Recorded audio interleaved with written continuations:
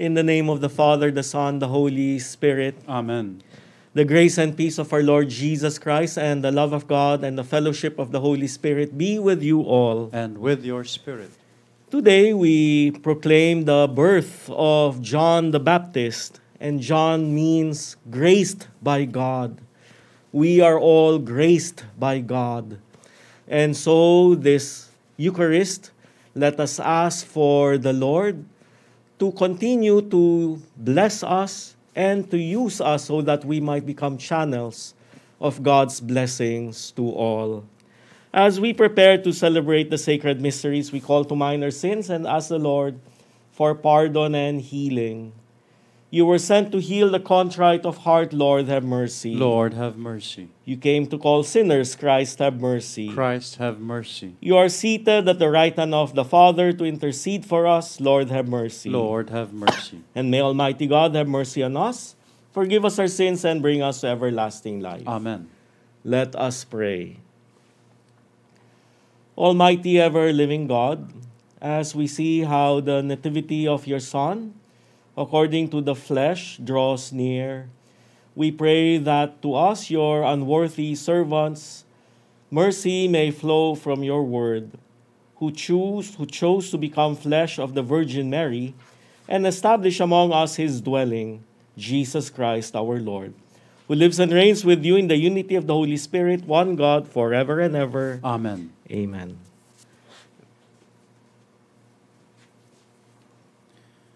A reading from the book of the prophet Malachi. Thus says the Lord God Lo, I am sending my messenger to prepare the way before me. And suddenly there will come to the temple the Lord whom you seek, and the messenger of the covenant whom you desire. Yes, he is coming, says the Lord of hosts. But who will endure the day of his coming? And who can stand when he appears? For he is like the refiner's fire, or like the fuller's lye. He will sit refining and purifying silver, and he will purify the sons of Levi, refining them like gold or like silver, that they may offer due sacrifice to the Lord. Then the sacrifice of Judah and Jerusalem will please the Lord as in the days of old, as in years gone by. Lo, I will send you Elijah the prophet before the day of the Lord comes, the great and terrible day, to turn the hearts of the fathers to their children, and the hearts of the children to their fathers, lest I come and strike the land with doom. The word of the Lord. Thanks, be to God. Lift up your heads and see, your redemption is near at hand. Lift up your heads and see, your redemption is near at hand. Your ways, O Lord, make known to me. Teach me your paths. Guide me in your truth and teach me, for you are God, my Savior. Lift, up your hands and see, your redemption is near at hand. Good and upright is the Lord. Thus he shows sinners the way. He guides the humble to justice. He teaches the humble his way. Lift up your heads and see, your redemption is near at hand. All the paths of the Lord are, kindness and constancy toward those who keep his covenant and his decrees. The friendship of the Lord is with those who fear him, and his covenant for their instruction. Lift up your heads and see, your redemption is near at hand. Alleluia, Alleluia.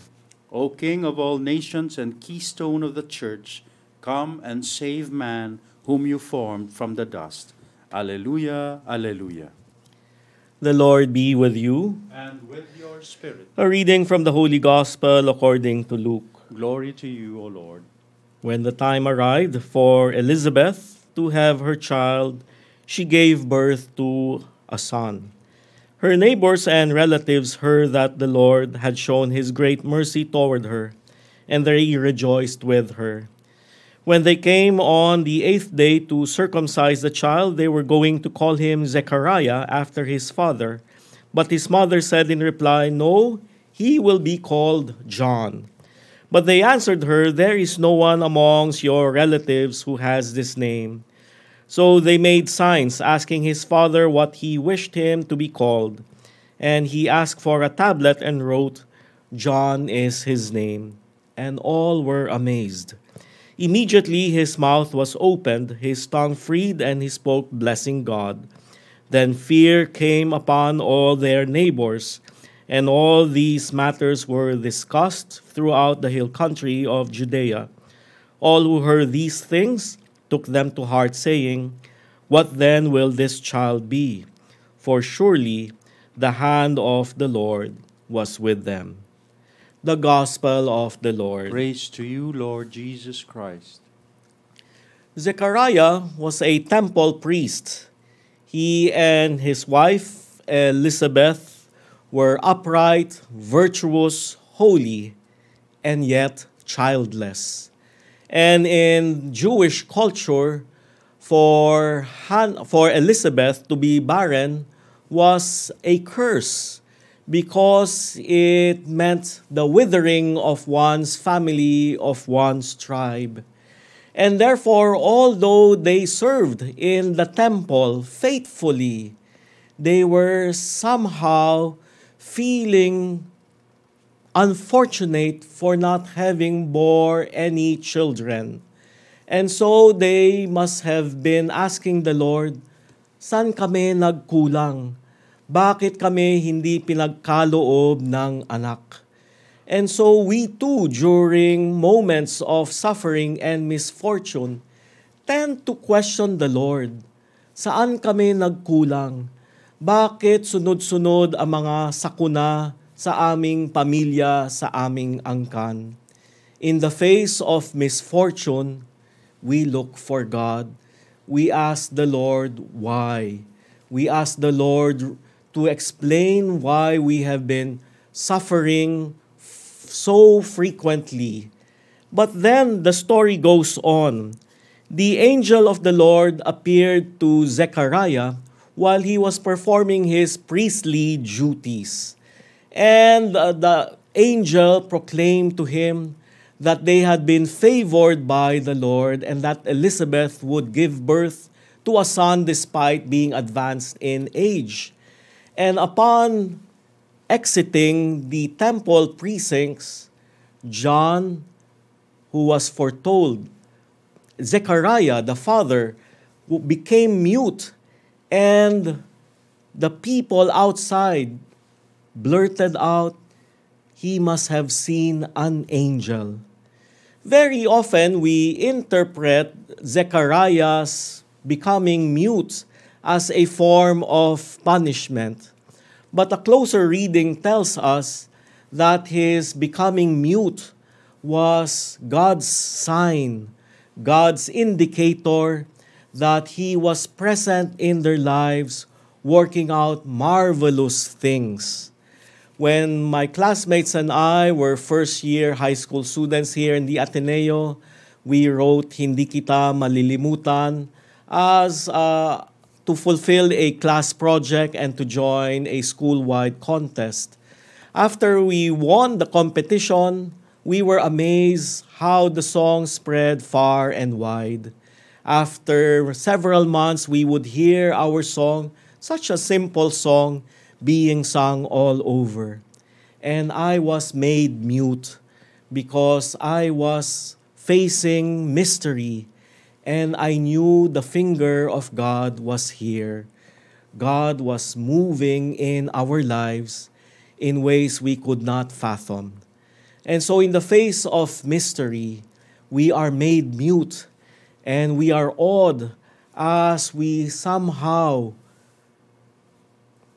intuit the presence of God moving in our lives. Thirdly, eventually Elizabeth gives birth to John. And upon his uh, circumcision, the relatives ask Elizabeth, What name shall we give him? Shall we not call him Zechariah after his father? No, we shall name him John. But there is no one amongst your ancestors who is named John. Nonetheless, when they asked Zechariah the name they would confer upon the child, he also said, We shall name him John, which means graced by God. Such a beautiful name.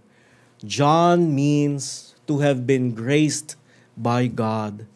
And so Elizabeth and Zechariah were graced by God with a son despite being advanced in age, despite Elizabeth being barren all her life.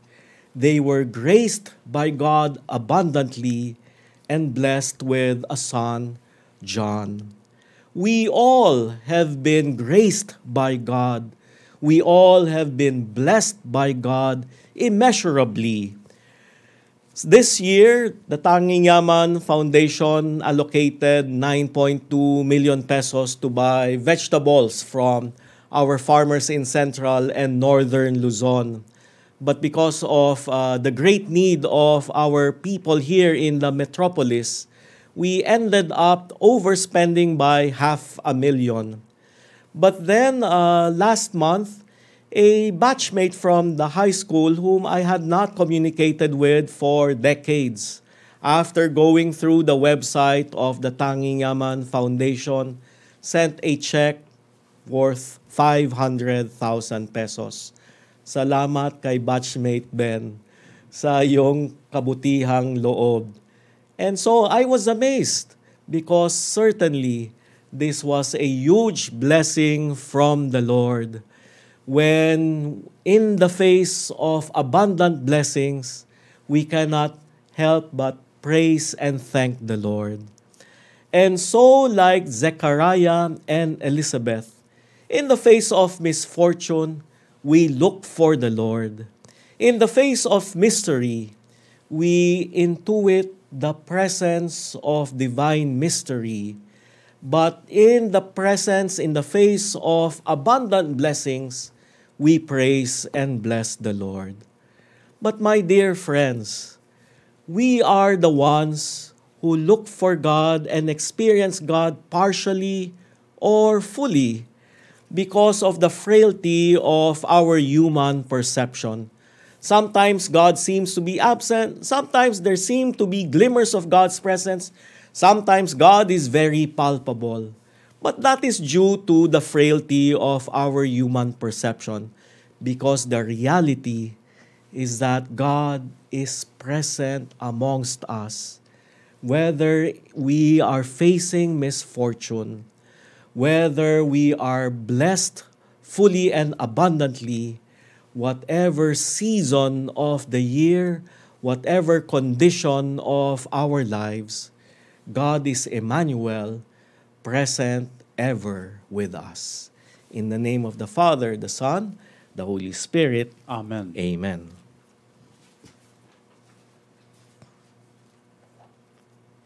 Let us now present our prayers and petitions to the Lord. Lord, hear our prayer. Lord, purify our hearts that we may offer you praise and fitting service, we pray.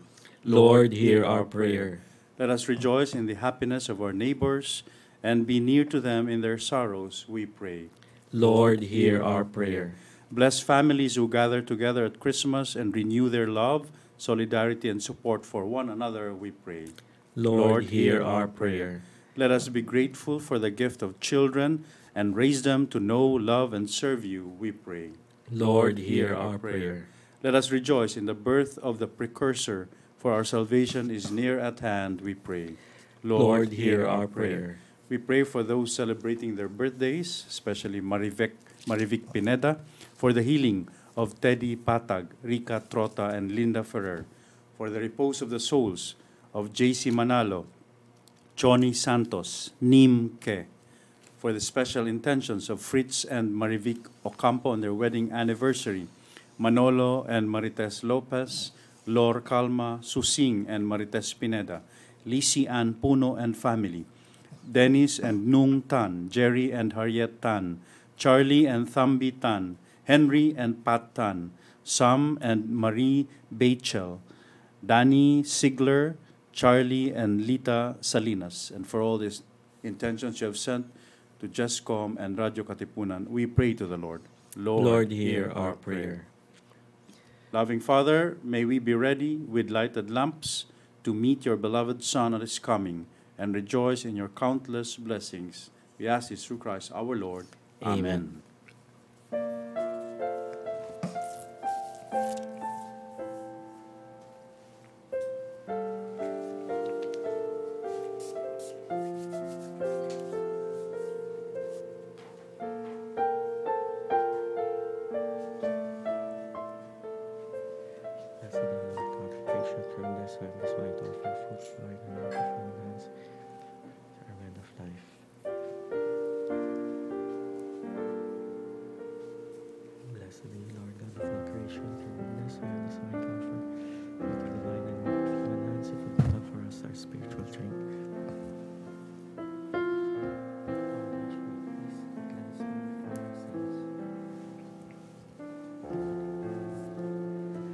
brothers and sisters, that their sacrifice may be acceptable to God the Almighty Father. May the Lord accept the sacrifice at your hands for the praise and glory of his name, for the good and the good of all his holy church.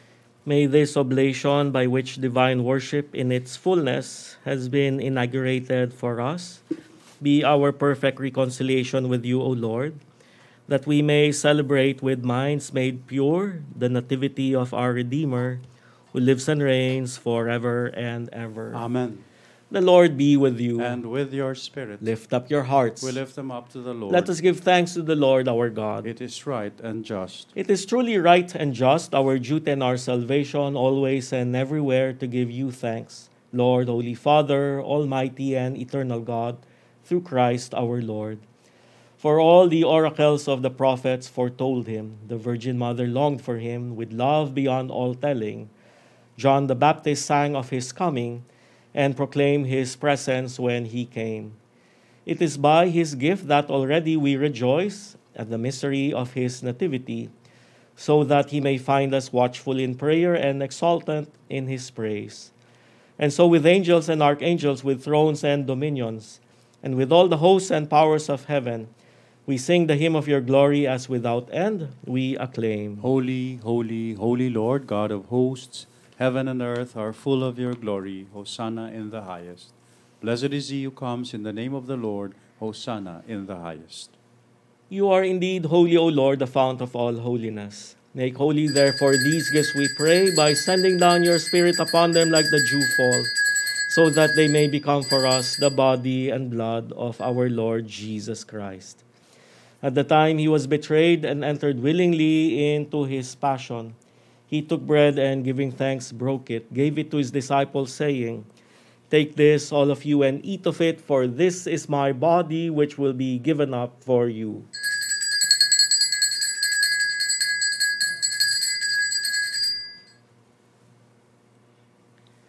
In a similar way, when supper was ended, he took the chalice, and once more giving thanks, he gave it to his disciples, saying, Take this, all of you, and drink from it, for this is the chalice of my blood, the blood of the new and eternal covenant, which will be poured out for you and for many for the forgiveness of sins. Do this in memory of me.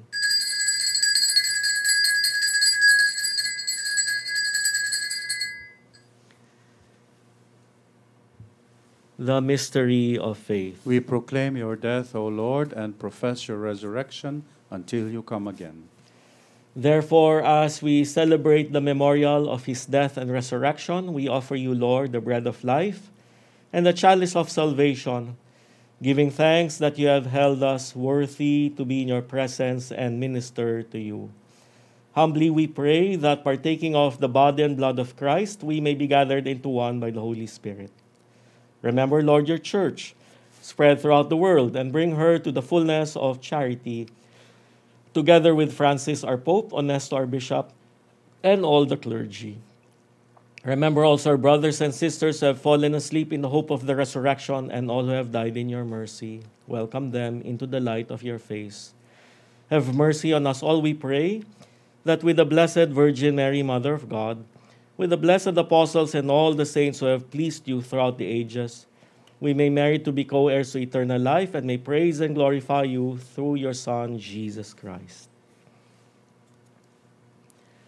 For through him, with him, and in him, in the unity of the Holy Spirit, all glory and honor yours, Almighty Father, forever and ever. Amen. Jesus taught us to address God as loving Father, and so with confidence we now pray. Our Father who art in heaven, hallowed be thy name. Thy kingdom come, thy will be done on earth as it is in heaven. Give us this day our daily bread, and forgive us our trespasses, as we forgive those who trespass against us. And lead us not into temptation, but deliver us from evil. Deliver us, Lord, we pray, from every evil. Graciously grant peace in our days, that by the help of your mercy we may be always free from sin and safe from all distress, as we await the blessed hope and the coming of our Savior, Jesus Christ. For the kingdom, the power, and the glory are yours, now and forever. Lord Jesus Christ, who said to your apostles, Peace I leave you, my peace I give you. Look not on our sins, but on the faith of your church, and graciously grant her peace and unity in accordance with your will, who live and reign forever and ever. Amen. The peace of the Lord be with you always. And with your spirit. Let us offer one another a sign of peace. peace be with you. Lamb of God, You take away the sins of the world, have mercy on us. Lamb of God, you take away the sins of the world, have mercy on us. Lamb of God, you take away the sins of the world, grant us peace. this is Jesus Christ, the Lamb of God who takes away the sins of the world. Happy are we who are invited to his table. Lord, I am not worthy that you should enter under my roof, but only say the word, and my soul shall be healed. My Jesus, I believe that you are present in the most holy sacrament. I love you above all things, and I desire to receive you into my soul. Since I cannot at this moment receive you sacramentally, come at least spiritually into my heart. I embrace you as if you were already there, and unite myself wholly to you. Never permit me to be separated from you. Amen.